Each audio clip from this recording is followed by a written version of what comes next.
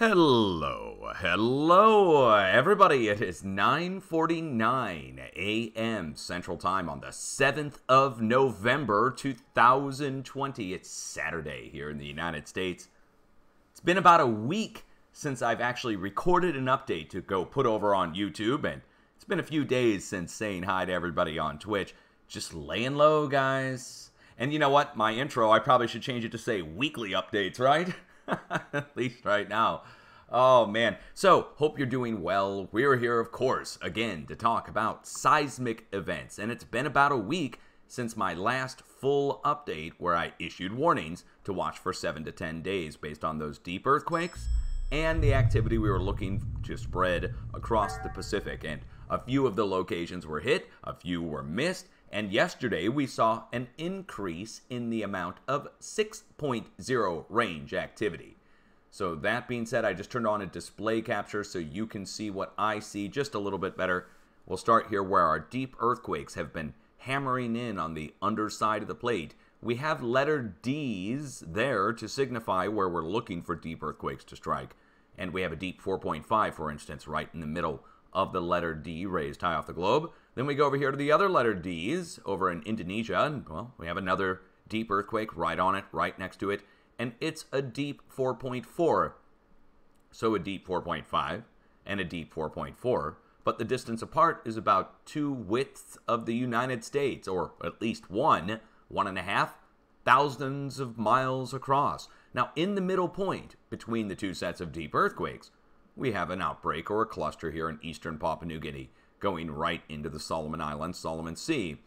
And that middle point is what we call a fulcrum point, a middle point between two areas. Think of a two arm scale that starts to balance, and that middle point where all the weight accumulates and balances out. Well, that's the fulcrum point of a scale, and we're basically talking about the same thing here, but the fulcrum is on the plate boundary. Instead of it being a teetering two arm scale perfectly balanced, it's very uneven and naturally shaped by Mother Nature but the middle point still sorts itself out between the two areas, or in some cases, three, four, five areas that are in flux or moving. Now, spreading out from that location, we have equidistant spaced earthquakes that are about the same size going across the planet. Again, the planet, it's not just from this one location right around it, it goes out in all directions. So, let me just give you an example. Up here to the north on the Izu Ridge, going up into Japan, we have a 5.8 to 6.0 earthquake that struck last night. Now, at the same time, around the same time, within 12 hours of each other, all the way down here, we had a 6.0 earthquake, 5.8 to 6.0. Now, what do the two have in common? Well, they're both on the Pacific plate, of course. One's on one perimeter all the way up to the west northwest, up next to Japan, and the other's on the other perimeter all the way down to the east southeast, all the way down next to Antarctica. And let me show it to you on the USGS plate boundary map. It might make a little bit more sense. So up here on the Izu Ridge and all the way down here. And this is technically the Antarctic plate, and this is the Pacific plate. Now, there's a transfer that occurs when there's a teetering back and forth, just like I talked about here at Papua New Guinea, that fulcrum point principle that the plate itself does the same thing and adjusts with the other plates nearby it on a vast scale. And there's a spread going out from the middle point here out to Japan and all the way down to Antarctica. And it's the same size. It's 6.0 range activity spreading out across, well, half the planet from one side to the other. Now, that just happened yesterday, and there's a trajectory of earthquakes that connects between the two, and that's, for instance, like these out here on the fracture zones that connect across the Pacific Plate. If you go look at the USGS map, it just has nothing on it going across the Pacific Plate. But if we come over and check the NOAA map and the undersea topography or bathymetric measurements underwater, and the fracture zones that go across these areas connect back across west to east, back over to where our big pushes are coming up underneath the plate. So let me just recap it for everybody. Deep earthquakes are hammering in on the underside of the plate, spreading out and away from where the deep earthquakes are. We have the same sized earthquakes. Again, 5.8 to 6.0 all the way up at Japan, 6.0, 5.8, all the way down next to Antarctica, and look what's right in the middle. A 5.9 to 6.0. So it's 6 in the middle, 6 up northwest, 6 down southeast. That middle point is under stress, and then the middle points between the middle points come under stress hence the earthquakes in between our sets of quakes. So it's a vast sorting that's going on here, and it's all the same size, and this is just 48 hours worth of earthquakes that we're looking at. Let's carry on. Further over to the west, we have a spread of fives. So we go from sixes, and then we go five, five, five, all the way across over into Europe. We'll get into Europe in a second, but same thing up to the north. We have a five up in Philippines, and then we go further to the north, and we have a 4.9 and a 4.8. If you add them together, it equals 5. And then off the coast of Japan, we have 5.2 and a 5.5. Add them together, it equals 5.6 to 5.7. In other words, it's the same size. It's the same size going out over into Indonesia, 5. And it's the same size going up into Philippines, 5. It spreads up into Taiwan, 4.9 to 5. And it, cumulative, cumulative total, that is, goes up off the coast of Japan with a 5.5, taking all those 5s and put them together. Now that goes across on the plate boundary again, the red lines here that go all the way up into Alaska. And guess which way the energy flowed? All the way up into Alaska, where we got another set of fives. And the most recent set of earthquakes right here, right on Anchorage. So let me show you. A five hit right here on the outskirts of Anchorage. When did it hit? Well, it hit today, but what time? 1223 UTC. Or wait, is that 1223? So three hours ago, we got a five right here at Anchorage. I'm sure people felt that. Let's go back and look at the felt report, see what's going on. 1,860 people felt this earthquake up in Alaska. Well, people up in Alaska, would you be interested to know that all the people back across the West Pacific felt the same sized earthquake if they were near land? and that that same sized activity goes all the way back down and around to over here. And so really we have a spread going all the way up into Alaska, but there'll be many people who also remember two and a half, three weeks ago, right here on the peninsula of Alaska, 7.5 earthquake struck with tsunami. But wait, let's go back over to the USGS map. Look at the plate boundary here, and this is where the 7.5 earthquake struck. Well, going up into the plate, that's where Anchorage is, and we have marked faults up into Alaska. What's the name of this fault? Let me see if I can get a name on it.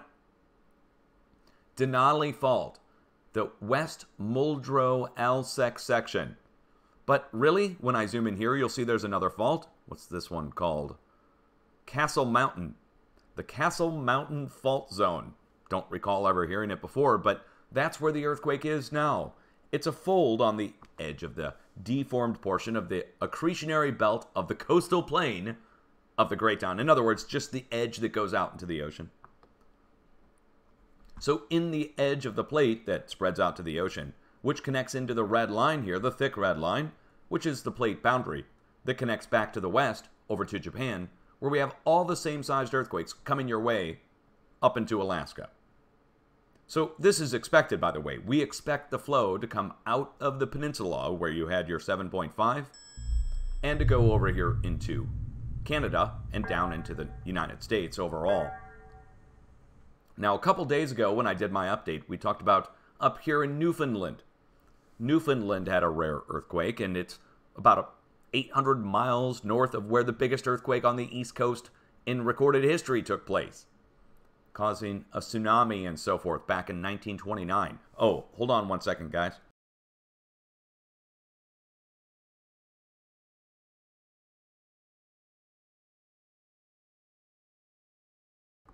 I apologize about that, guys. Let me get a sip of my coffee. Some people tell me not to refer to the audience as guys. Hey, man, this is the United States. You get the little joke I just made? Hey, man. Uh, uh, all right. Anyway, so up here, come on, man. I'm always thinking. So up here in Alaska, that's where the flow came in. Now onto the edge of the Craton, going down into the United States, going over to the East Coast, Newfoundland. Well, that was hit at the start of this week, but let's go again and go down onto the west coast of the United States, where we can trace another line of earthquakes going down across the southern United States down through Texas, back up to Oklahoma, to Missouri, and Illinois. Illinois! Guys, Illinois! Up there in Illinois! Ah, uh, it's going to drive him crazy. I'm from Missouri, guys! Come on! So, over here to the east, over at the Virginia, North Carolina border region, we're still swarming out at Sparta, which is a power line. There's a huge series of power lines right there at Sparta where there's an outbreak of earthquakes.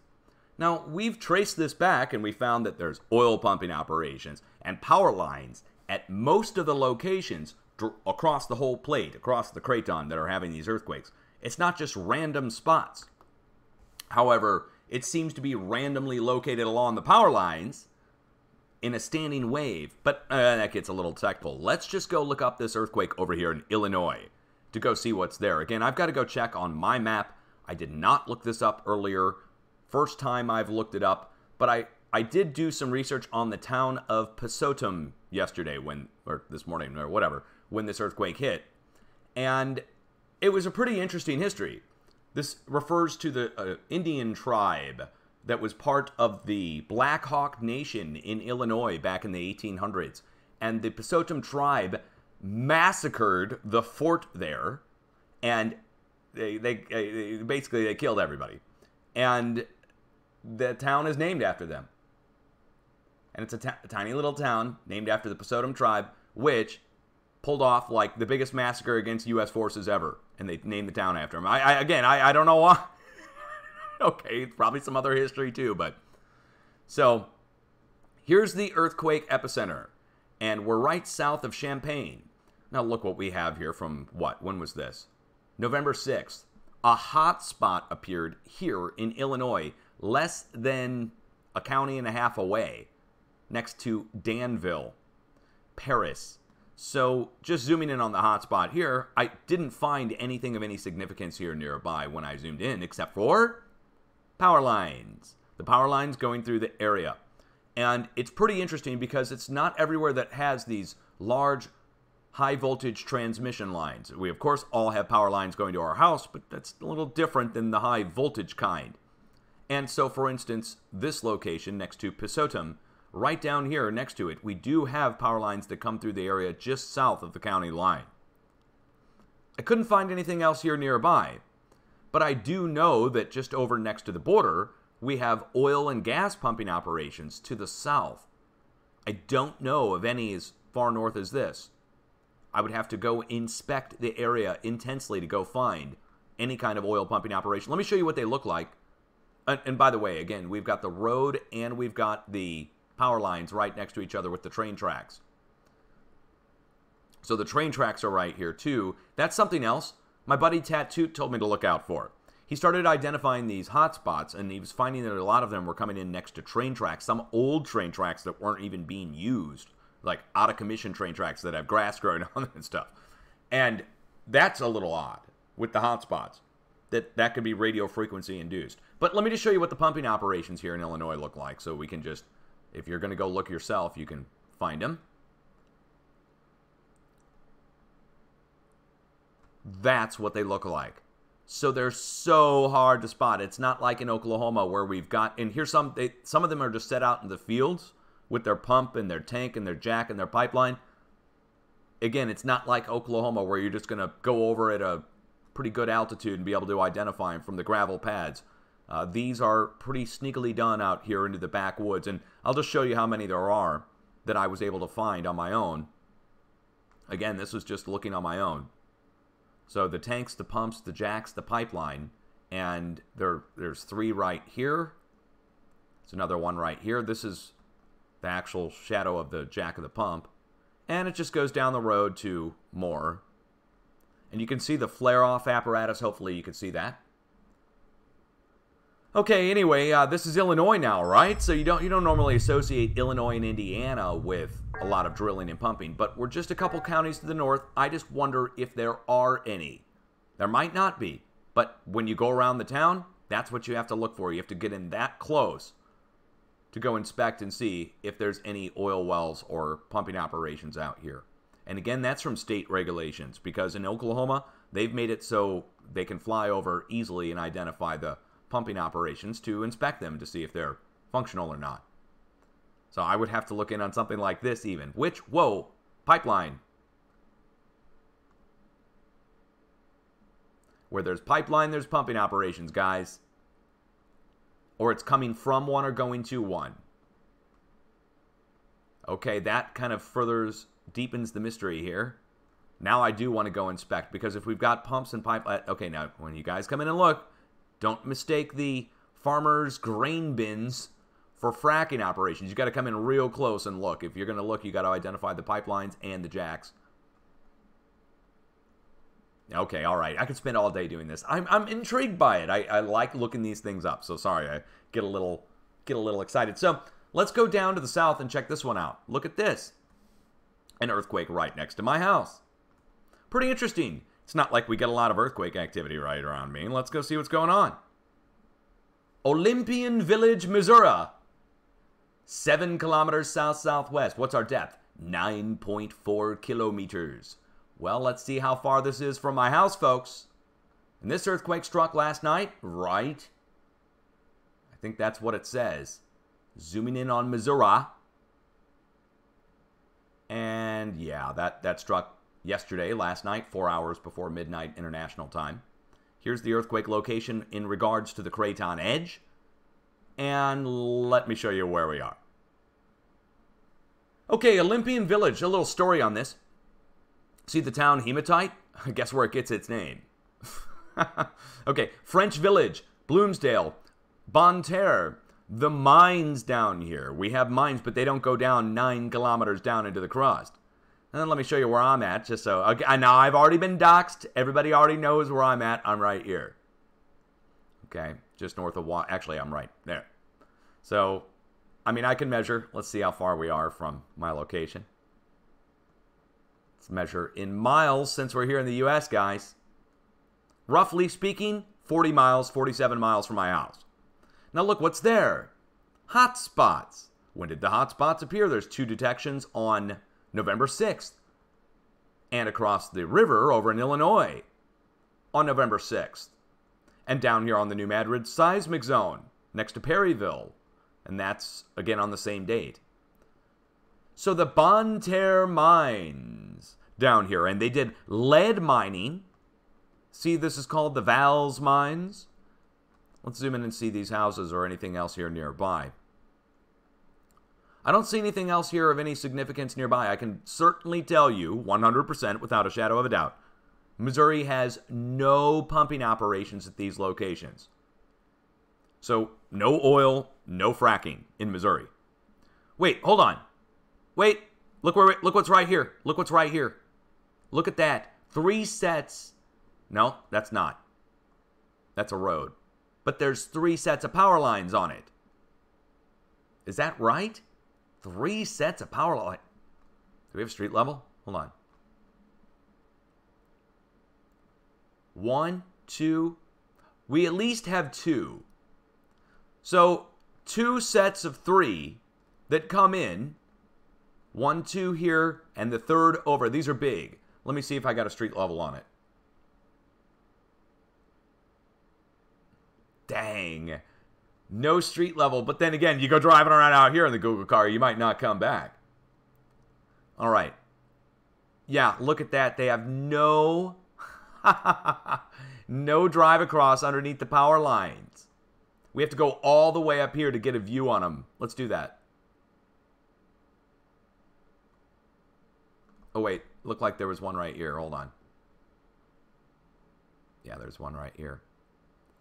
So we have to go about 10 miles north to get a view on the power lines. They just were refusing to drive underneath them. Look at that. Yep. Okay, so we got Earthquake right next to a series of transmission lines, high voltage, no doubt about it. You would have to try to tell me that these high voltage power lines are everywhere and they're not. They're just like one or two spots per county. For instance, you can see it coming through this county right here where we just came through.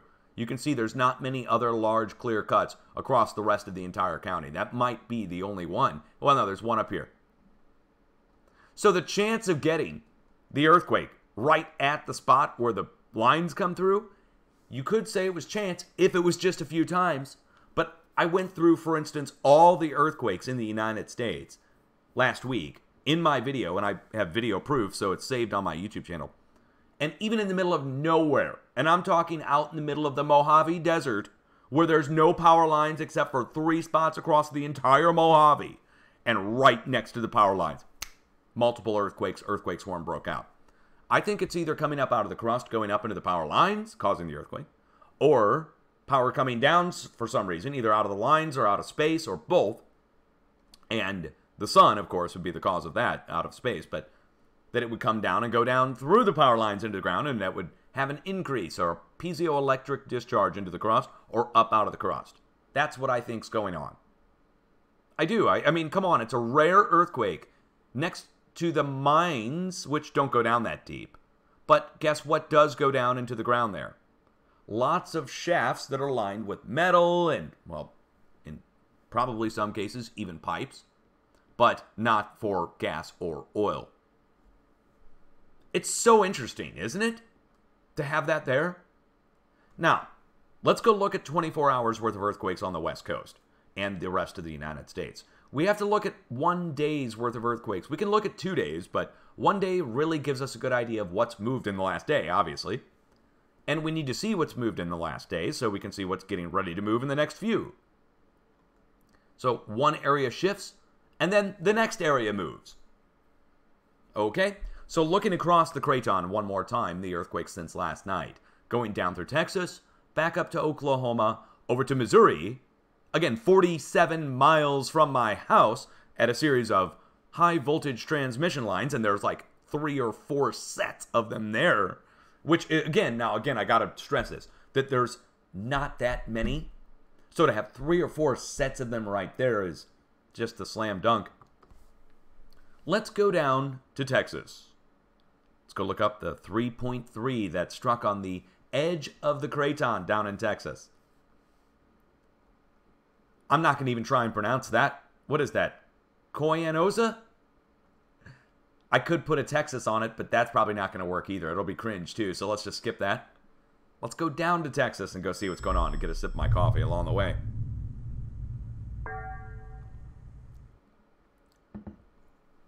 Oh, wait. Well, look, looky here, y'all. hey, y'all, looky here. And uh, look what we got going through the desert here. We've got a series of high voltage transmission lines. Two sets of them. They intercross and intersect each other here. Look at them all. There's like a stand of 1, 2, 3, 4, 5, 6, 7, 8, 9, 10, 11, 12, 13, 14, 15, 16, 17, 18 smaller ones, and 1, 2, 3, 4, 5 big ones. Oh, wait, hold on, look what else we have here. We have a team of people with a derrick. And the derrick is doing drilling and all these things that are laid out on the side of this derrick, which, again, you got to look at this three dimensionally. This thing's standing straight up and down. But from flying over, of course, it's going to be at an angle. And you see all this? That's the pipeline. And they even have more over here. Now, again, actually, hold on. This, these might be the drill bits. This might be the pipeline. Or these might be the drill bits. And this might be the pipeline. I don't know which but I know they connect each one of these, whether they're pipelines or whether they're drill bits, and they connect them and drill down and over and at an angle. So they will come down, over, either way, north, south, east, west, whatever, and go down at an angle.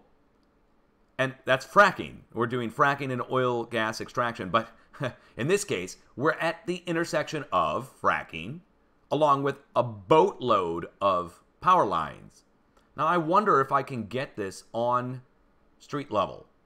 I just wonder. I mean, I, we might not be able to. Ooh. Ooh, okay, we get one somewhat close. Let's see if I can get it to the closest juncture, if we can look down the power lines right here and see what the deal is. Oh, wait, there's an electric. to top it all off, look, there's an electrical substation right here. Big time. Look at that. That's huge. Why do they blur that out? Why blur that out? That's weird. Why blur out that? What's going on? Hold on.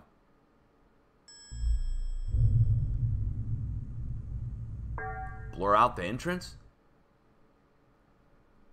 That's weird. Okay. So, looking in all directions, you see these aren't just your regular power lines to your house. And you see we have a substation here that's pretty impressive in its own right and that's where they're going to have transformers and uh, they'll reamplify the signal to put it back out and down further down the wires uh, from what i understand i'm not an electrician but i think that's how it works so these substations i think reamplify or transform the signal whatever the, the electric anyway you don't get those everywhere those aren't exactly everywhere i mean they are all over the place but they're not everywhere so to get an earthquake next to it along with the drill points I've already said this several times now. I think that the drill points, well, I don't think, I know that the drill points have metal casements that go down. They're not using clay pipe, okay? So the metal piping that's going down into the ground is going down kilometers. It's like an antenna in the ground. Or or some kind of grounding apparatus that you would put on a house, but way, way bigger and deeper. So is that going to allow for electricity to ground down into the crust, or is that going to allow for electricity to come up through the crust out of the ground? Which way is it?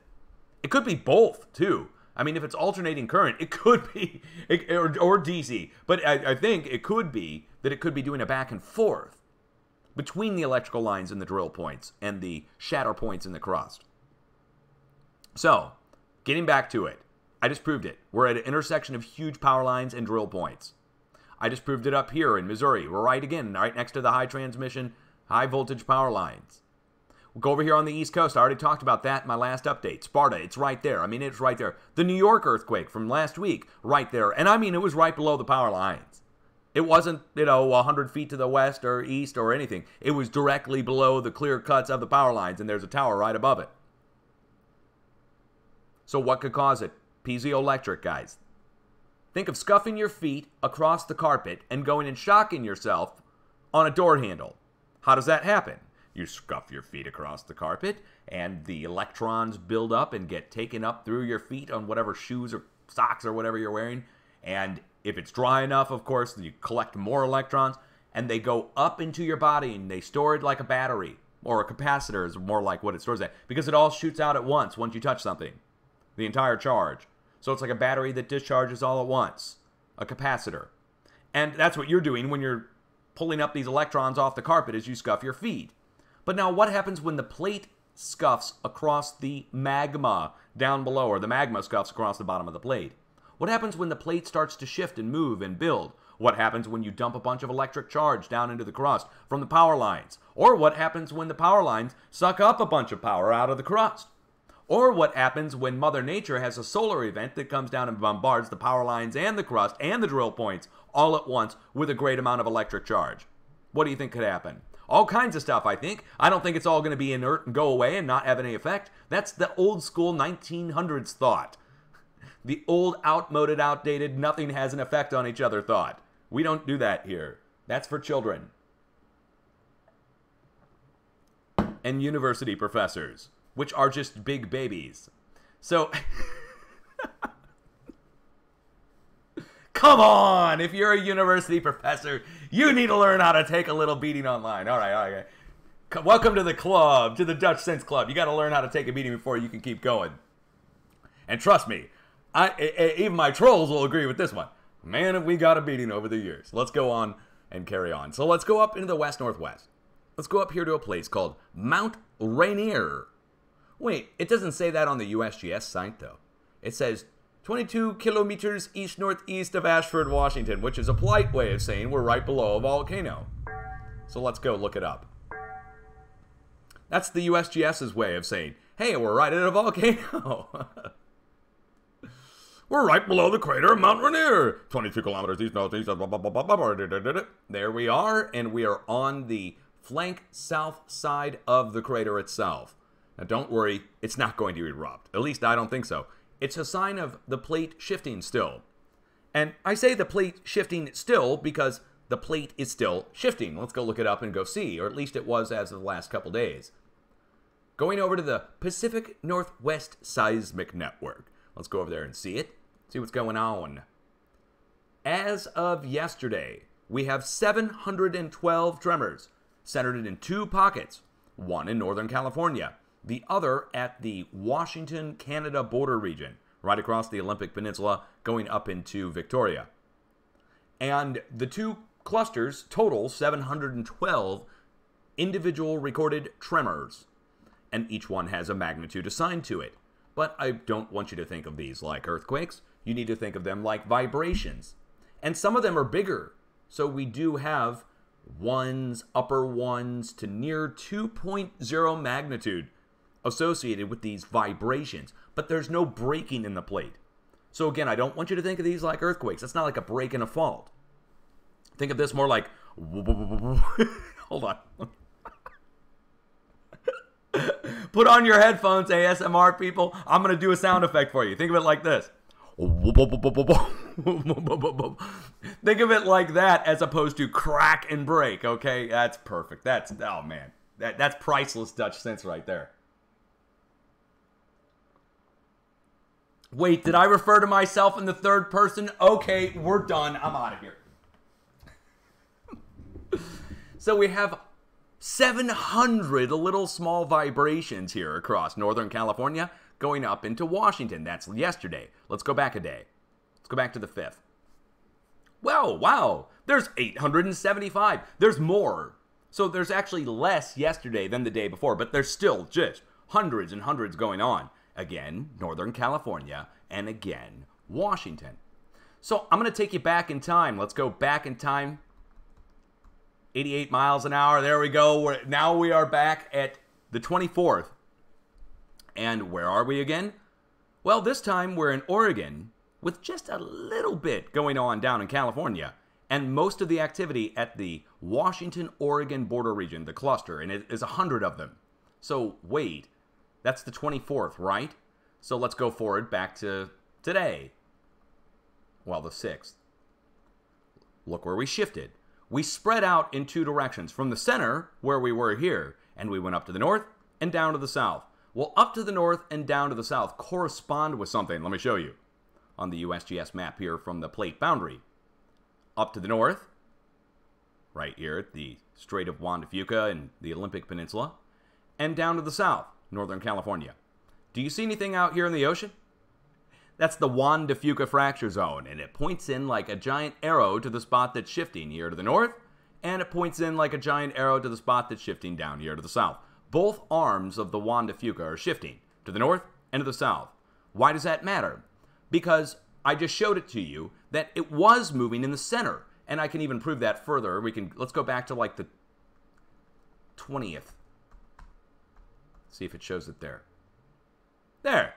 See that? It's centered mostly in Washington, which is to spread out a little bit down into Oregon. We can even go back a few more days, go back to like the 17th. Now we're solely in Washington and Vancouver Island. We were centered in Washington. Now we spread out. We spread out to the north, up to the Canada border, and we spread out down to the south.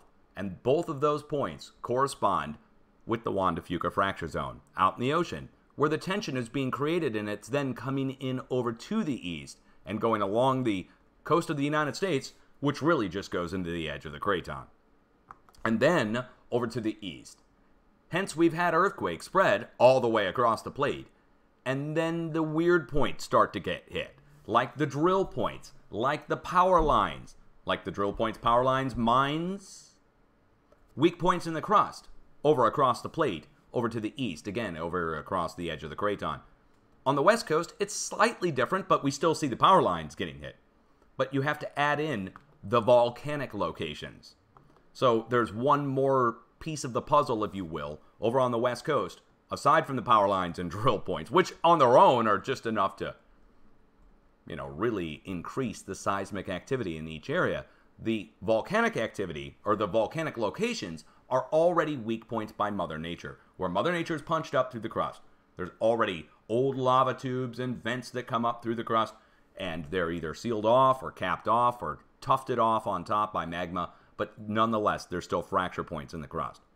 And going across the craton, we have a little line of earthquakes coming out of Montana, going down into Yellowstone Park. Now, I would like to look these up because last week I went and looked a lot of these up, and for some reason they were all explosions, quarry blast, and the like. But this time they're not. So it's just weird that last week it was just nothing but quarry blast after quarry blast after quarry blast in a line. It was almost like it was almost like somebody was doing some experiments from the USGS to test and see whether or not there were any transfers or any increase or decrease in power in areas across the edge of the craton. It's almost like somebody's out there testing it right now or something. I don't know. I could be wrong. I've been wrong before. So look where we are. We're at a location that had a 5.8 earthquake back on July 6th of 2017. You guys remember this? Three years ago, a near 6.0 earthquake struck up here right in Montana. You guys know about that, but I'm going in to look at the location. Let's go see if there's anything else here nearby. Okay, well, again, we're along a road. Is there anything else of any significance? I don't see any mines in the area marked, no quarries, nothing to blast. It's edge of the Great Now, really, we're just north of Yellowstone. So here is Yellowstone National Park, and the edge of the craton is going right through the middle of the park. That's not a coincidence, by the way. The edge of the craton is a weak point where magma can come up through on the seam between the deformed edge and the more stable portion. It turns out all of our supervolcanoes, or at least every one that I've looked up so far, not just in the United States but around the world, that they're happening at the boundaries between the craton edges. So look out in California, where the purple meets the green, right along the California Nevada border. That's where Long Valley Caldera is, the other supervolcano on the west coast. So Yellowstone is formed on the boundary between the craton, the stable portion, and the deformed portion, between the brown or the tannish color, whatever color you want to call that, and the purple, but another supervolcano is formed at the other edge of the other edge of the craton over on the west coast at the California Nevada border. Can't be chance or coincidence on that. Maybe if you're a professional, you might want to look into that. Hey, you could get your whole thesis written. Get your PhD. You know what that stands for. A person who heard Dutchsinse. all right, all right, let's go down to South. California Nevada border. Uh oh. An explosion. We got an explosion out here. Let's go look at the quarry. Now, I don't know if it's going to be too wise to be out there blowing stuff up right now in Oregon. It just doesn't seem wise right now for many reasons. Oh, wait, did I say Oregon? It's triangulated from Oregon. It's Washington. Explosion. Wait. Why wouldn't they list this as a quarry blast? That's the most odd thing in the world because down in California, well, I could show you, we, we have quarry blasts that get listed out here all the time. But I don't want to waste your time on showing you something small. It's just an explosion, okay? No biggie. Let's go down to the south. Government Camp Oregon, but this one's at a 1.4 kilometer depth. So this one's not an explosion up at the surface. By the way, that explosion at the surface, not listed as a quarry blast technically wasn't at the quarry. Either that or the coordinates are wrong. I wonder if the coordinates are wrong on this, because look where we are. We're right at Mount Hood volcano, and this is just like Mount Rainier, the one that I showed you up here. The earthquake coming in at Mount Rainier, right below the crater. You think the USGS would tell you, right? But like like it said, it was 22 kilometers east, southeast of such and such Oregon. They don't tell you if it's at a volcano, but in this one, they don't tell you either. And I would be very interested if I was a seismologist or a volcanologist to know that these earthquakes are striking at these volcanoes before there's any kind of activity that takes place. And that we can see the increase that takes place at these volcanoes before we see an increase spread to other locations. Now, look over to the east. Over to the east at Idaho, our biggest earthquake to strike in the last week just took place last night. Stanley, Idaho a four has struck on the edge of the craton. Now, hold on. Why didn't you hear about that on the news? Why aren't they talking about fours or greater that are striking across the plate that get felt reports across the country? Well, you know what? Out of sight, out of mind. But this location in Idaho had big fires that broke out at it just a few weeks back, last month. Major fires all the way across here. And I looked up the earthquake epicenter, and what I found something a little interesting. Over here to the east, we have these high tension power lines, these high voltage power lines that are going into a giant open pit mine. But the earthquakes are happening many kilometers down below in the crust. So there's something else here. Guess what's here? Well, we do have more high voltage power lines. Pretty interesting that they would be there. This is above the magma chamber for Yellowstone. See central Idaho here. Here's Yellowstone National Park at the surface, where the magma chamber comes up to the surface. But going down below all of Idaho over to the west, well, that goes right across the central portion of Idaho over to Oregon. That's the magma chamber for Yellowstone. It's 11 Grand Canyons in size, measured with Earth penetrating tomography, so there's no debating that. It's that big and it goes down at an angle 30 kilometers or more down below Idaho. Well, this is the central portion of the magma chamber. Just it goes down at an angle, and of course it goes below Oregon. Again, it's the center, but it goes up above it where the earthquakes are, where the magma chamber is down below this. Now, what could cause a 4 at the magma chamber for Yellowstone? Small earthquakes over at Mount Rainier, down at Mount Hood, cause power line earthquakes to develop across the rest of the craton as static energy or whatever you want to call it, piezoelectric energy, building up inside of something as it's shifting or moving, but itself not moving, the, the substance next to it, the magma maybe down below. There's many co- it could even be heat. You know, heat is nothing more than moving electrons, right? Hey, there's room for invention in there, by the way. I got an invention for everybody. You ready? I'm going to give you an invention you can make a trillion dollars on well, literally a trillion dollars on this, maybe even more. Give it to the world right now. You ready? A brick made of aluminum plates on the outside, and then right below the aluminum plates, copper, just a little sheet, could be millimeter thick, doesn't even matter the thickness on this. Aluminum sheet on the outside, copper sheet on the inside, and carbon carbon black, like you would use in a printer toner ink, maybe, on the inside of that, a big old brick of it. And you place the bricks around your fireplace and fire up the fire, go burn some wood in there. And hook up a wire into the brick, into the carbon.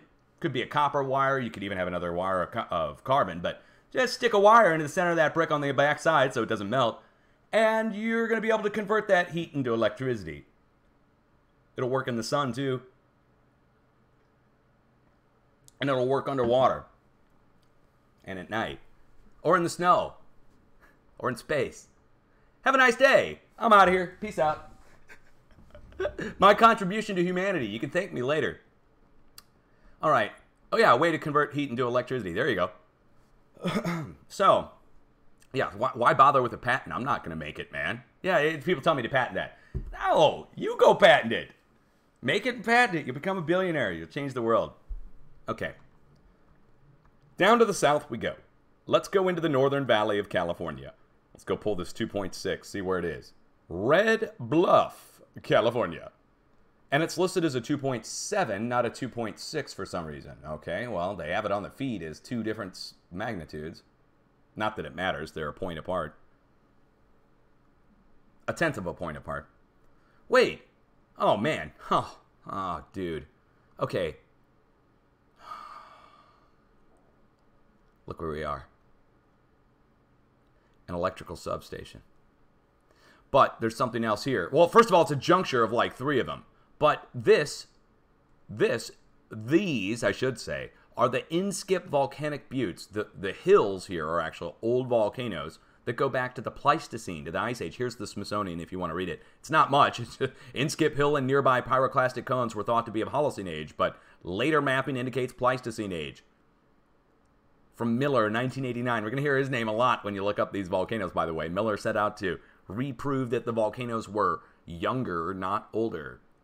And so there they are, and look what goes right through the middle of the volcanic butte a series of high voltage, and I'm talking big time. There's like five sets of them. Let's go right below them and see.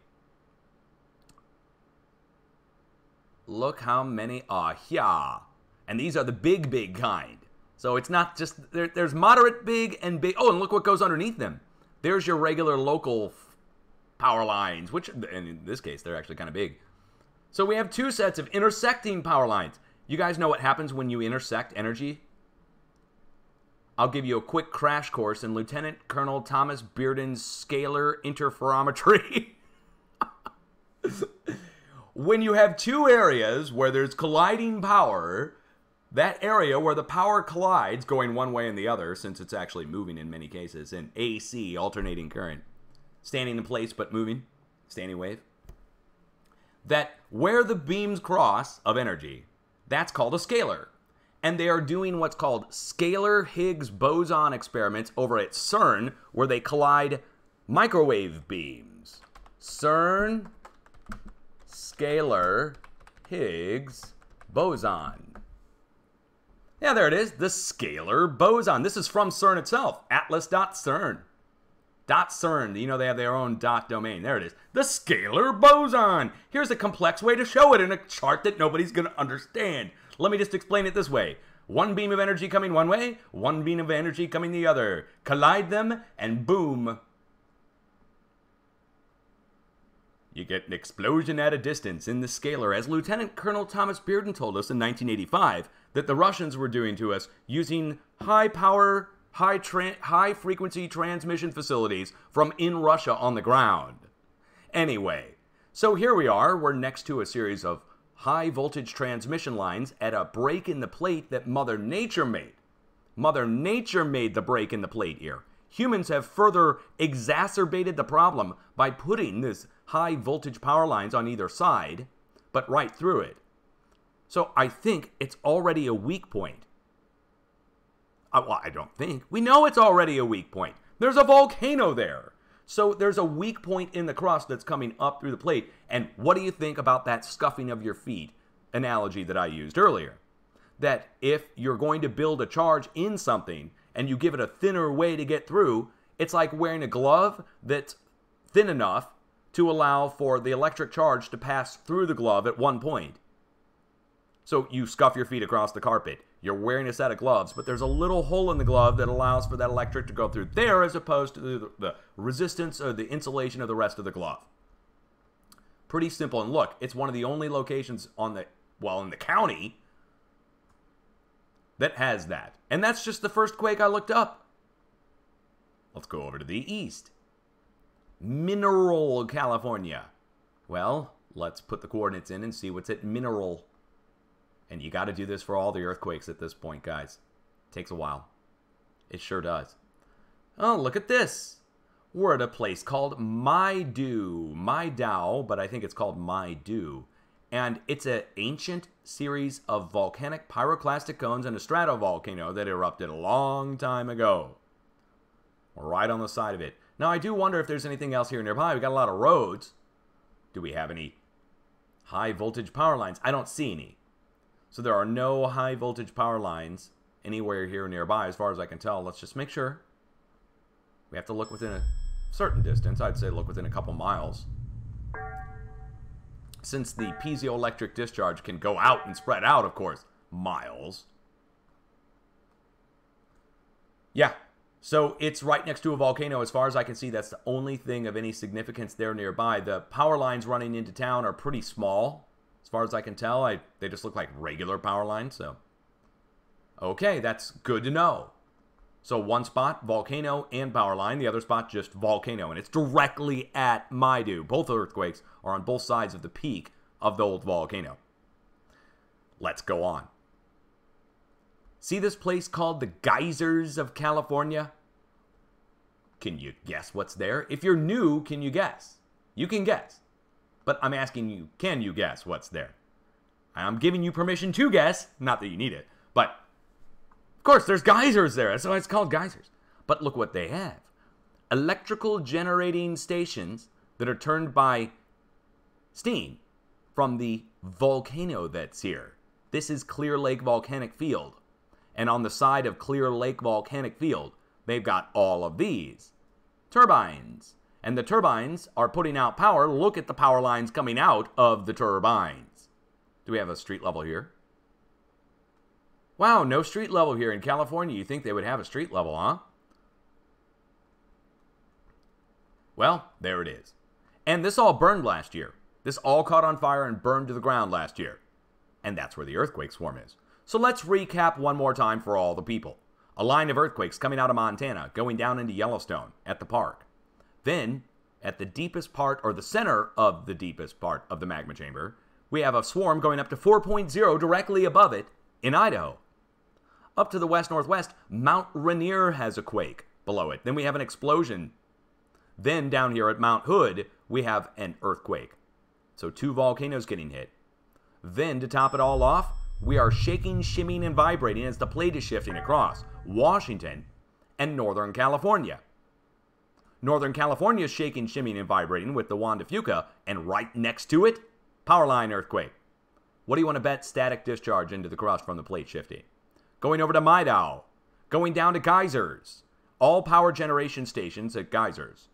So power generation and high voltage power lines there. Power transmission there. Volcano there. What about the 2.1? It's the only one I haven't looked up yet. Willits, California. And you know what? To see this one, let's go turn on the San Andreas Fault. Markings here. Well, actually, not the San Andreas. The Hayward Fault going up to the north. Or is that Napa Valley? Well, you know what? I can find out. I can actually get the name on the earthquake. Fault zone map here.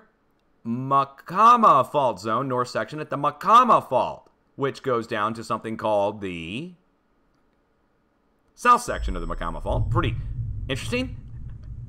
then the Healdsburg Fault, which goes then down into the Bay Area, and that then connects into the Hayward Fault. All right, so we got a bunch of names that we're never going to remember. What else is there? Let's get the coordinates put the coordinates in and go C Willits. You know, I think I've got some viewers up here at Willits. Somebody wrote me from Willits several years ago when I was doing the unboxings. Got a postcard or something. It was just like a little letter. Willits, California. They said, you know what? We got to come up here. I, I, think I was making jokes about Northern California. I'm pretty sure. Because you guys remember what I found when I looked. Okay, you can imagine what I found. I was zooming in on Northern California. There's an earthquake, and I'm up here in a place called Humboldt County, wherever that is. And I'm zooming in, and I see these greenhouses out in the middle of the woods, and I'm like, "What are those?" And I zoom in and more. And Californians, man. I think I found a little bit of green shrubbery, shrubbery growing out there in the middle of the woods. You know what I mean? All right, where are we? We've got a series of houses here now, the voltage, high voltage power lines coming into town are pretty far away. So I would say, okay, that's far enough, or, or are they? Ah, they're within a few miles. But no, wait, wait. They aren't. Look, I would call these just regular. I would call those just regular power lines. Maybe when we get down here, you might get into bigger, you know, the bigger towers. Yeah, they are. They are. They take a step down. Look, they're at the bigger towers there. And then by the time they get up here, it looks like it branches off. And by the time you get up here, it's smaller power lines. Okay. Okay, that's good. That's good. I, I don't want to see power lines at every location. I'm just looking to see if they're there. Something I started to keep track of in the past couple weeks. And man, am I freaked out to find out how many are there. What do we got going on here? Ah, oh, no way! No way! Oh man, how many times have I had to get up and walk away from this broadcast today? Dude, all right, well, you know, roll another one, just like the other one, and pass it over to me. Come on, come on, hippies, put on your Birkenstocks, get on your hemp necklaces, weave me a dream catcher, and catch me a dream. Let's get out of here. Let's skedaddle on out of there. Oh my god, what an update. Okay, let's carry on. Pinnacles, California. I'm face palming. Okay, that's a face palm sound. Okay. Kids, don't do that stuff. It's bad for you. There we are. Okay, here's our earthquake epicenter, and we're right here along the famous San Andreas Fault. And you can see the San Andreas. It's marked here in the mountains. It's a diagonal line going northwest to southeast. It literally is breaking through the mountains. Now look at that. What do we have here? Looks to me like temporarily filtered fire pixels. Wait, did we have a big fire here? Is this where the fire happened? Maybe. No? No. No, it's not. And I know they're not going to be doing any burning out here of any kind of, you know, frivolous burning. Wow, we're right next to an unnamed mine. Let's go and see what the mine is. Oh, yeah. Yeah, unnamed mine. Wonderful. Okay, well, we've got hotspots, an unnamed mine, and we're on the San Andreas. There's couldn't be anything else here nearby of any significance, could there? How about right over here over to the east? Starting right here, we have a bunch of pumping operations. And I mean a bunch. Going down to the south, oh, actually, I shouldn't exaggerate. Down here, we have a bunch. Right here, we have a few. So there's like maybe four or five just in this field.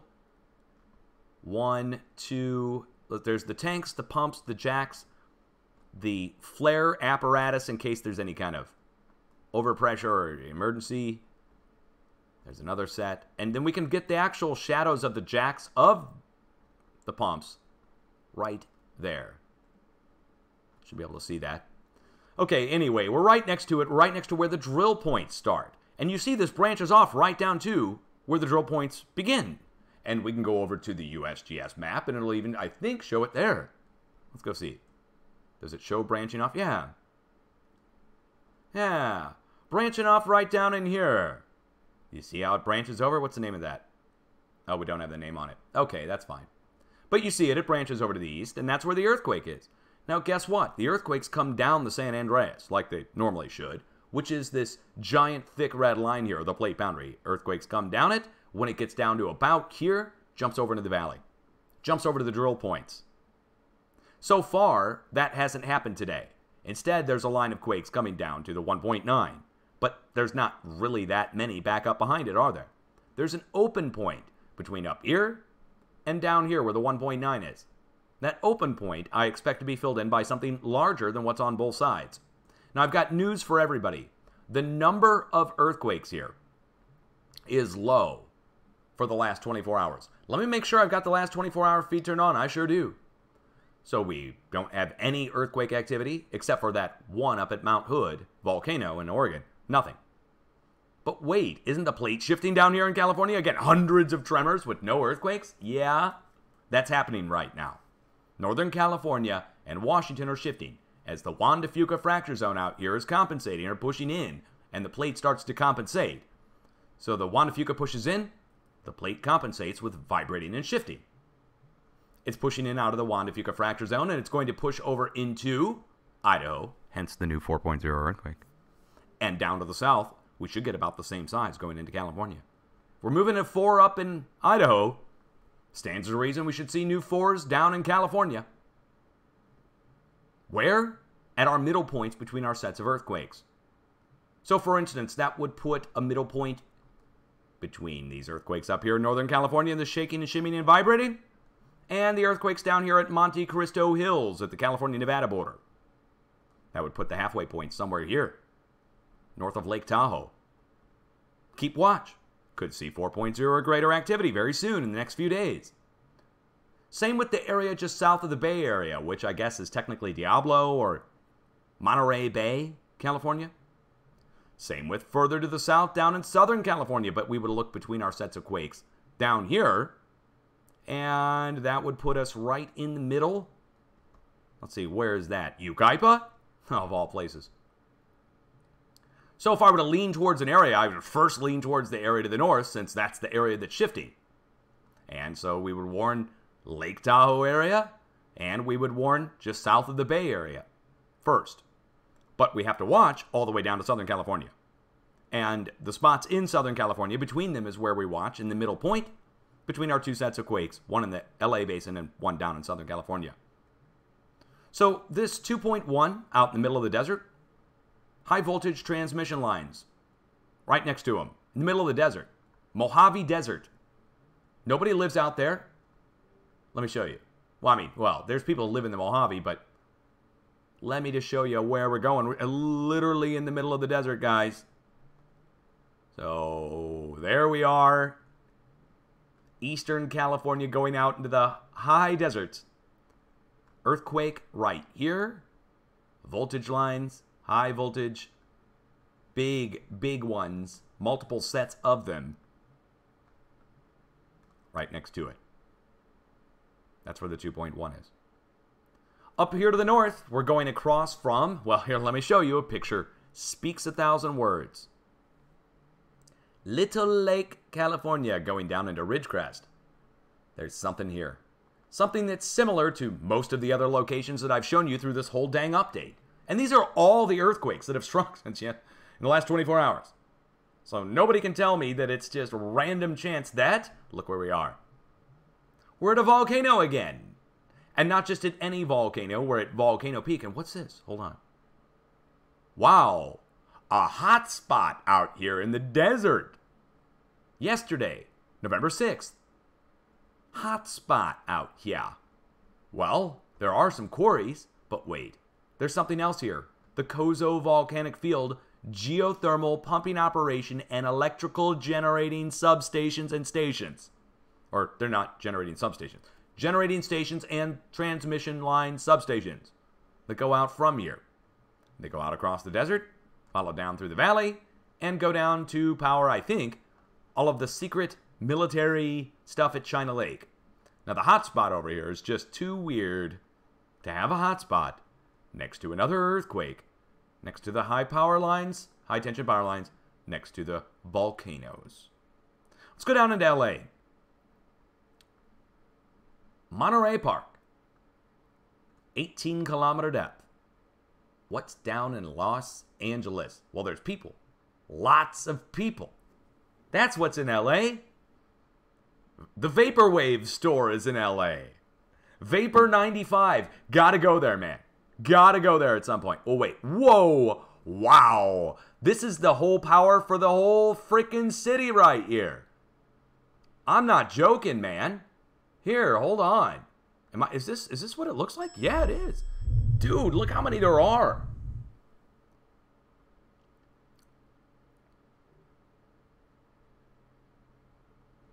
Why do we not have a ground? Wait. It just took a minute. Let's go back in. Dang. LA's whole like you know their main power for the city. Oh look, there's a cell phone tower right there too. Is that 5G? Oh my goodness. Look at that. That's a masterpiece. This is this is a masterpiece of electrical engineering. But it's also just begging for an earthquake. Just begging for it. Begging. And that's where it is. That's where the quake is. Right next to it. Right there. Hey, wait. We've got an oil pumping operation right across the street. I sailed, boy. I say, old boy! Elementary, my dear Watson. Look, oil pumping operation right across the street. So we've got a puncture point that goes down into the crust where they have metal pipelines that go down into the crust a few miles. And that's, I think, acting like our VLF antenna down in the crust, collecting energy and bringing it up, or collecting energy from up and taking it down. Either way, it's causing the quake. Let's go over to the east. 1.4. Wait, see? Proof, proof, bup, bup, bup. Everybody, look, proof. They can report a quarry blast as opposed to an explosion. So why didn't they have that explosion up next to that quarry a couple miles away? Listed as a quarry blast up in Washington. Huh?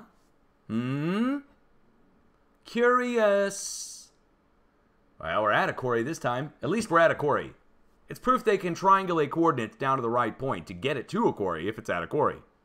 Wait, isn't there something else here nearby? I, I, I don't know. I, I am asking.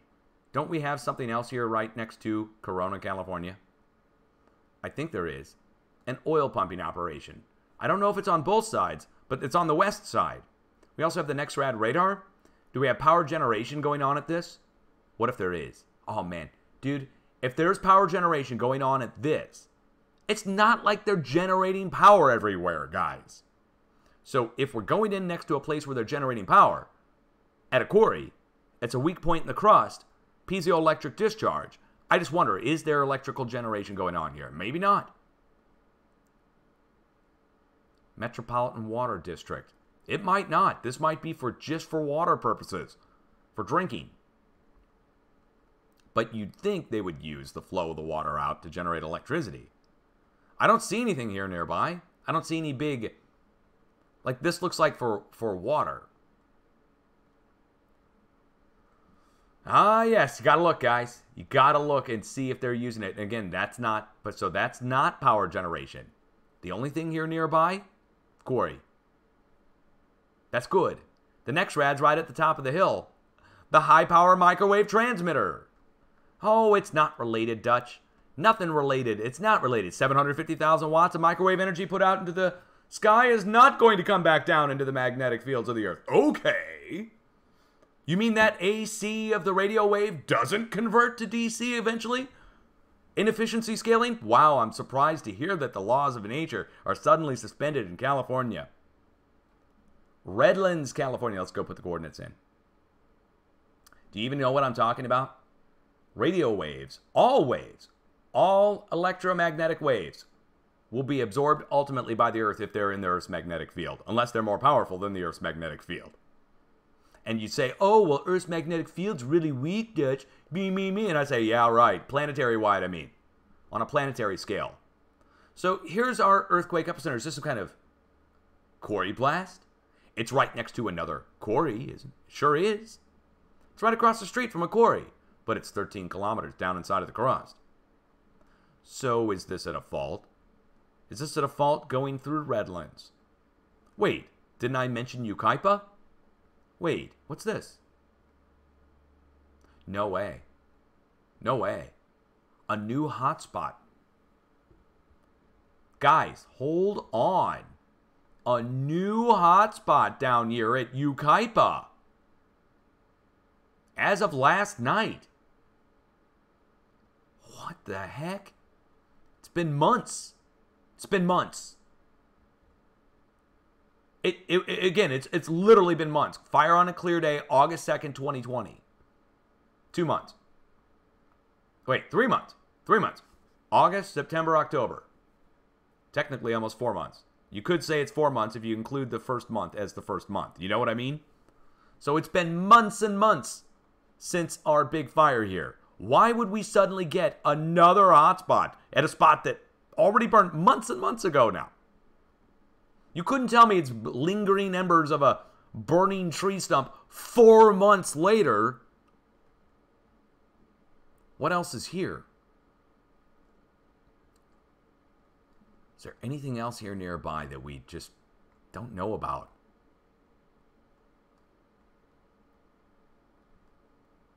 You gotta wonder. So we got houses, we have subdivisions, but you know, where there's people, there's always the potential of creating fire on their own, you know, with some kind of accident or deliberate arsonist or something. What is this? power line's going around right through here. Hold on. But they're they're not huge. These are not huge high voltage power lines. They're just the regular kind. All right. Well, I don't see anything else there. The only thing that I see there is the previous fire location. But I do know that there's something natural here right next to Yucaipa. Let me show you on the USGS map. Down here in Southern California, that could be leading to the cause of the hotspots and the earthquakes. Well, I suppose I need to turn on the right key here. Street level view. There's Banning there's Yucaipa. And look, the thick red line. This is the San Andreas Fault. This thick red line that goes all the way back up and connects to the Juan de Fuca. It goes right down through there. I'm talking like a mile away. Maybe a couple miles. So recapping. Most of our earthquakes are happening either next to high voltage transmission lines of some kind, power generation stations of some kind, volcanoes of some kind, or in some cases, geothermal locations, which are also being used for power generation. Going down to Southern California, all the way. The only spots that I have not fully looked up yet are down in far South California and here in Nevada. So, should we go into Nevada and go take a look? Let's do it. Do it. The Dark Emperor would say it. Come on, do it with me, guys. Do it. You can do it that's what the Department of Defense said. By the way, I heard Mark Esper's offered his resignation. Come work on YouTube, man. You'll make more money.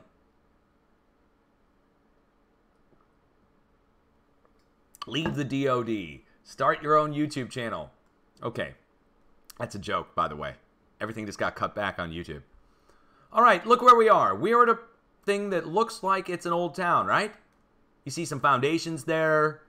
Well, we can be benefited by turning on the Google Earth community who's taken painstaking hours to research all this information here.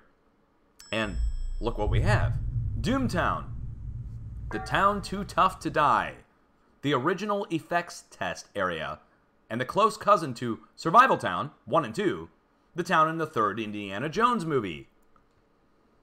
You know what they did in the Indiana Jones movie, right? They were Indiana got inside of a refrigerator to protect himself from a nuclear blast, which is not wise. And children, don't get into refrigerators ever. But here we are U.S. nuke Operation Encore, May 8, 1953, 27 kilotons, Operation Rise Line, Doomtown. All of these underground nuclear test sites here. Every crater is a different underground nuclear test. And we can just get the information on any one of these. Well, I, I should be able to. Hold on. Why is that not coming up? Well, that's crazy. Well, my information is not coming up on the underground nuke test site right now. We're getting everything else on it, but not... Oh, okay. I guess that was just one that's missing. U.S. nuke Operation Tijeras, October 14, 1970, 89 kilotons, for instance. The whole valley is made up of underground nuke test sites. Now, wait, look at this. What the heck? A bunch of hotspots? When did these appear? Dude, today! November 7th. A bunch of hotspots in the desert around Las Vegas. What's out here? Hold on. What is this? Dude, high voltage power lines going through the middle of the desert. Wow. Look, there's nothing here to burn. Quite literally, it's sparse sagebrush at the most, like not even enough that could burn point to point. There's nothing here to burn. There is nothing here to burn. This is quite literally desert. I mean, there are sagebrush. Don't get me wrong. I mean, there is some sagebrush, but what is this?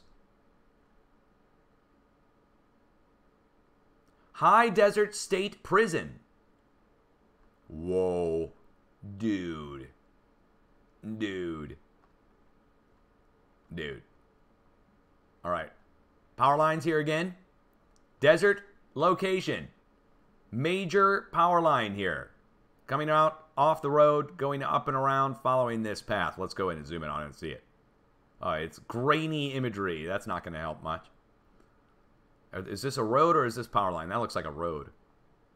That's road. All around Vegas. Look at that, man. Look at that. That's that, that's in the last 24 hours. Up into the mountains and everything. What's this? More high voltage power lines. Big time. Right next to them. Going right across. All the way up to the north. This whole thing. That's where these are. That's what these are. These are the high voltage power lines. You can see the little pads for each station. And it cuts over and it goes over and the, the hotspots cut over and go over. Now, again, it's detecting it on all sides of the power lines out by a few miles. What, what about this? Is this another set? Sure is. Look at that. Dang, that's huge. That's the power coming in from the north, again, to feed the power into Las Vegas or out of Las Vegas. Even down here on the side of Hoover Dam. Again, major electrical power generation here at Hoover Dam. Isn't that isn't this Hoover Dam? Pretty sure it is. Yeah, there it is. Hoover Dam. Amazing stuff going on here, guys. Look at that. So, nuke test site getting hit, hotspots appearing all the way around Vegas going up to Hoover Dam as of last night going into this morning. And the hotspots, again, electrical, electrical guys. I, again, I'm, I'm leaning towards it. Some kind of shorting out piezoelectric discharge into the crust detected as a heat signature. Look, they go all the way across Nevada, which is rare. We haven't seen hotspots across Nevada in God knows. Look, and look, we're going in right next to another series of high voltage, oh, and a quarry. Oh, wow, quarry and high voltage power lines going into the quarry, no duh course they're going to provide power to that. Let's go up to the north and see. Yep. We're following the power lines to the north. Stopping around central Nevada. What about this? Yep. Wow. Amazing. So, yeah, our power lines are shorting out, maybe. Maybe it's not shorting, maybe it's just heating along it that the satellite's detecting. But the hotspots are showing up. There's no doubt about that. And there's nothing there to burn, so you can't tell me it's farmers burning their fields when you're in the mountainous regions of Nevada. mountainous regions of Rocky Nevada with not a farm in sight for a hundred miles. Let's go down to the east by southeast. Let's trail this off down at the far south tip of all these earthquakes. Ocotillo, Ocohilo, California. Ocotil, Ocotillo. I'm from Missouri. Do not try to correct me on my pronunciation. Not only that, I'm not going to read the comments like weeks later, so don't worry about it. Here we are. We're right next to Salton Sea. And wait, hold on. We have a hotspot detected there. As of yesterday, last night. Look where we are. Real great place to put your farm field burning. You know, I guess a farmer takes his stuff out here and hides it underneath, puts it in this little valley right here and sets it on fire so he can burn it all in secret. Wait, that's on state land. That's at the Anza Borrego Desert State Wildlife Wilderness and it's desert. Come on. So we've got another set of hotspots right here next to a, another volcano, which is right here the Salton Buttes. And to top it all off, they've drilled it to get steam to turn these electrical generating turbines to provide power for the area. And the high voltage power lines go out from here and go down to San Diego and our electrical generating stations go all the way down here to the border, where they've added in a few solar farms on one side and geothermal on the other. You cannot tell me that the. Oh, look, look, there's another hotspot. When was this from? Last night. Look, look what's there. The look what's there. Sand dunes. Guy, Sand dunes are there. That's it. There's nothing else there except for the San Andreas Fault and volcanoes and power generation station down to the southwest. Picked up by satellite, so it's not like it's a campfire. What could cause a hotspot to come up off the San Andreas or right next to it in the desert? The same thing that could cause all this other activity seismic. Seismic activity spreading out across the plate finding the weak points, which then breaks with a small earthquake as the plate starts shifting. And the craton shifting all the way over to Missouri, where we have our power lines getting hit with earthquakes, which is so weird. And I can't believe I didn't figure that out till this year. That's the craziest part. Thank you, Tattooed, for getting that ball rolling. And let's go back and turn back on our seven day feed of 0.0 and greater quakes. Here we are. And we'll hit refresh, make sure and see if anything else has hit. Because we didn't even talk internationally about, like, Europe, for instance. We could quickly cover Europe and cover Asia. The fives that I talked about at the start of this update. The equal spread of the same-sized earthquakes going up to Japan took place going all the way over to Europe last week. And we saw big activity, the biggest earthquake in years, in Europe this past week down in Greece and Turkey. Major damage, tsunami generated. Since then, we saw a new 5.0 earthquake, which, well, 4.9 from the USGS. Strike right up here on the back end of our arrow, going up into Bulgaria and North Greece. This is Bulgaria, this is North Greece. This is Romania further to the north, and Romania was struck by a 4.0 earthquake already this past week as well as mid range for, maybe even bigger, striking at the Croatia Bosnia border. So, 5.0 creeping to the north, out of the Aegean Sea. 5.0 range activity going north up next to Croatia and Bosnia. The only spots left to move that I was looking for to see activity, and we still have a few more days to go, would be over here in Romania and over here in Italy. So far, we're right next to Italy, but Italy hasn't been hit yet. Then, secondarily, we have not seen the activity up here on the English channel yet going into the UK. We're like five days in on this. So I would expect, or six days in. We are six days in on this, which means we have one to two more days to go. We're watching for one to two more days for this activity to spread over to Italy, over to Romania, and up to the English Channel. So far, Croatia and Romania. Eh, I would expect something bigger to come rolling in, guys. Two days from now, I will cancel the warning if I need to. Anything else going on? I think that's it. Central and South America swarming out with our fives and our sixes over the past few days. Central America, you can really see it. This line of quakes that goes out of Mexico goes down across Central America, over to the east, all the way over to the Eastern Caribbean. Just look at our fours and greater. There we go. So do you see the whitish colored earthquakes and the pinkish? Pinkish struck two days ago. Whitish struck in the last day. And in between the two, of course, we have a few. And going over to the USGS map, look down in South America. Let me turn off that. Here we are.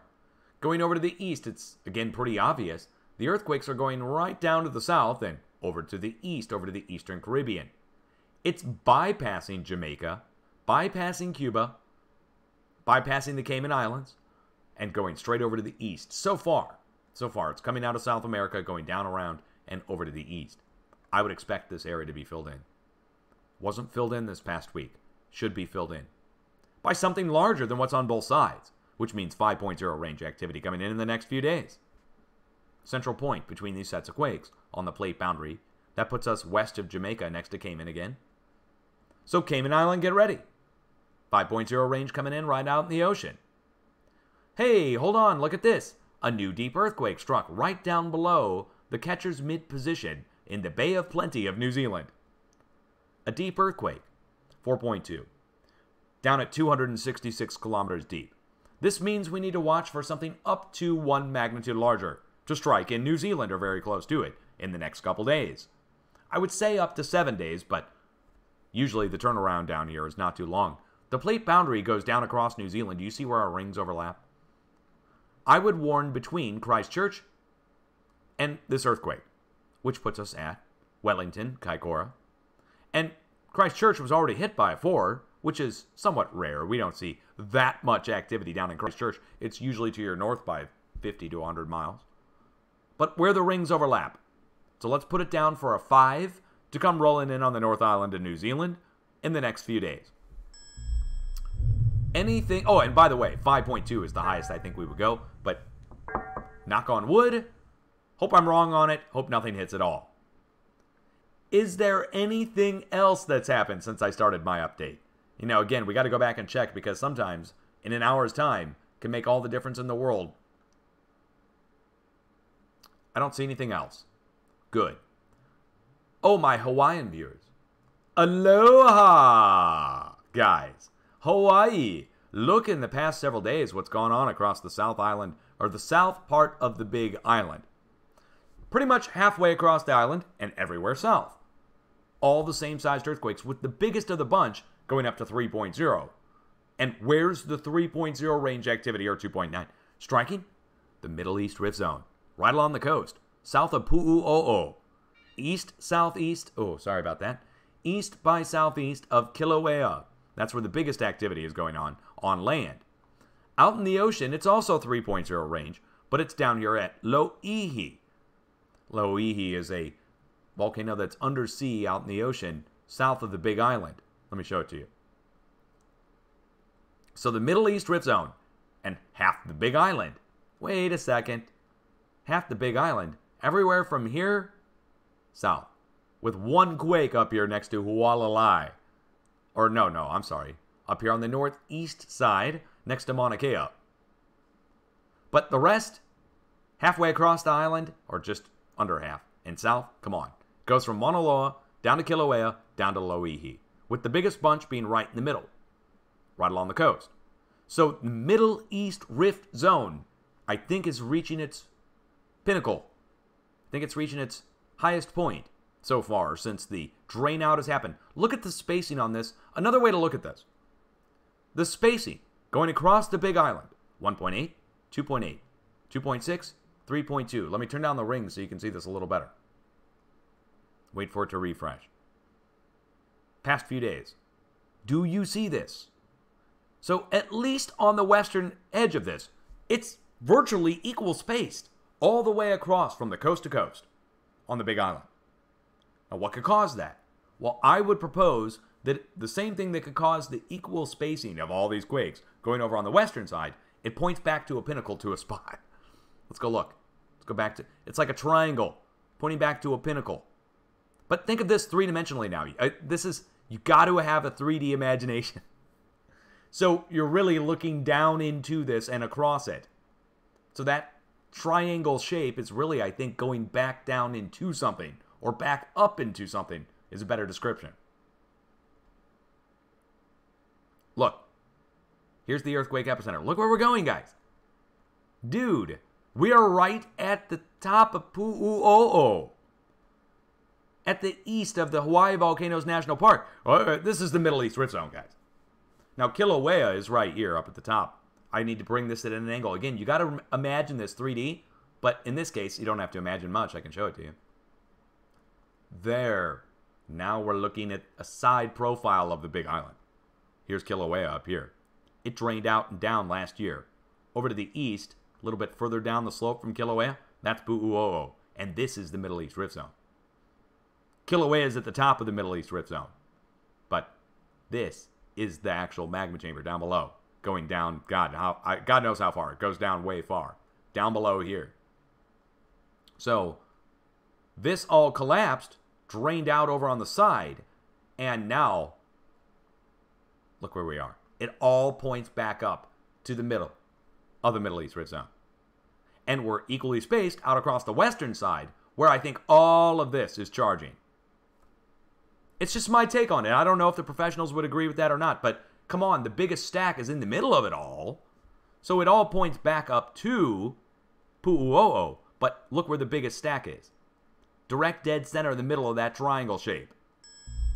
Again, the center. That's where we are. That's where all the earthquakes are, down here, next to Lo'ihi. So if there's going to be a breakout, it's going to be between Kilauea, Lo'ihi, and Mauna Loa, I think. And what's between the three? the Middle East Rift Zone. That's why the earthquakes are striking there. I think. I could be wrong. Now, I was wrong on my estimation of time for eruption, but then again, so are the professionals. Yeah, yeah. Well, I, I will reassess it if we get down the road in a little bit and it starts looking like it's going to do something. I will jump back on at a moment's notice and talk about it at length. This takes me in to something that I talk about in almost every update, which is I tell my viewers and everybody who listens you need to have an earthquake plan. You need to know what to do when an earthquake strikes. So it's pretty basic. You take shelter, you get underneath a table or a desk, or you go outside. If you're going outside, you might not be coming back in for a fair amount of time. So you need a seasonal specific emergency kit that you can grab and take with you at a moment's notice that covers a few of the bare minimums. So change of clothes, set of shoes, or a way to keep yourself warm or to shield yourself from extreme heat. Also, food and water for a couple days, as well as identification, you know, your ID, uh, insurance information, special documents, also medicine, first aid, sanitation, flashlight, batteries. The list goes on, but you will think of good things to put into your emergency kit. Make sure that you can get it onto your back and that other people in your household can also move it or carry it if necessary. And you will be way better off, and I mean way better off, than all the people who just refuse to prepare. And for the people who had to evacuate in fires, for instance, when you're only given a couple minutes to get out of your house.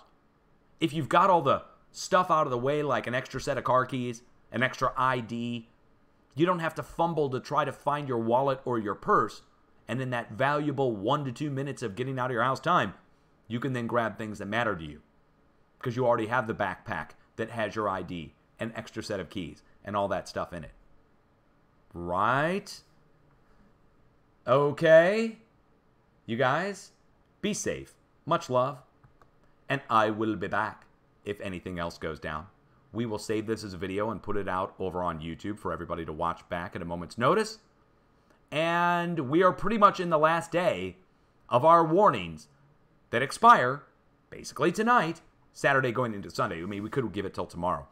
Sunday is when we expire on most of these in the warned areas from my previous video from seven days ago. So you could say it expires tonight or it expires tomorrow if you want to go the full seven days international time. I will issue a new forecast tomorrow or, or Monday after all this expires. So we're waiting for Italy, we're waiting for Romania, we're waiting for the UK. Two of the five areas have been hit. uh, and then on the West Coast, the slow slip carries on. And as the slow slip carries on, we carry on watching until the slow slip stops. And when the slow slip stops, or somewhere towards the end of it, we look for a big earthquake to release. On the west coast of the United States, in the Pacific Northwest, out in the ocean, most likely, off the coast of Washington, most likely. That's what we look for, but it's not taking place yet. Instead, we're waiting. Waiting for the slow slip to carry on or stop. That's why we watch the little red dots on the map all the time. That's why it's important for them to report it. I'll be back, guys. Much love. Peace out. Have a good weekend. Don't get too caught up in all the political BS, guys. You got to remember, you're the football, and the game is them. They're, they're the players, and you're the football. Just remember that, and it'll put a proper perspective on things. And remember, nothing ever changes. Since the time of the Romans, nothing has ever changed. Ah, uh, we got some mud flooders who are going to disagree with me on that, aren't they? They're going to be like, Dutch, time of the Romans, what are you talking about? Hashtag Tartaria. Signing off. Peace out. Much love.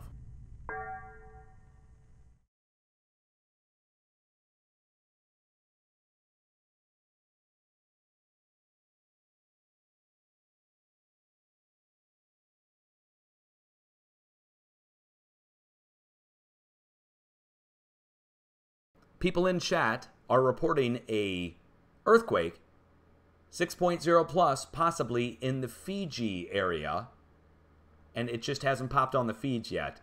So I'll put this in the recording too. This is Fiji area, so if we see a new 6 pop off, we've got a 5.9 from earlier, so I wouldn't be surprised if a new earthquake struck of 6 or greater there. But if it does, all that does is prove that we got the same sized earthquakes going from Japan down to Fiji down across the Pacific, down to Antarctica. Half the planet, 6.2 or greater. That's all it proves. But thank you, thank you, thank you for telling me about it. If it pops on here while I'm talking, of course, we'll see it, but otherwise, you'll see it pop on the feeds in just a little bit. Now we are signing off. Peace out.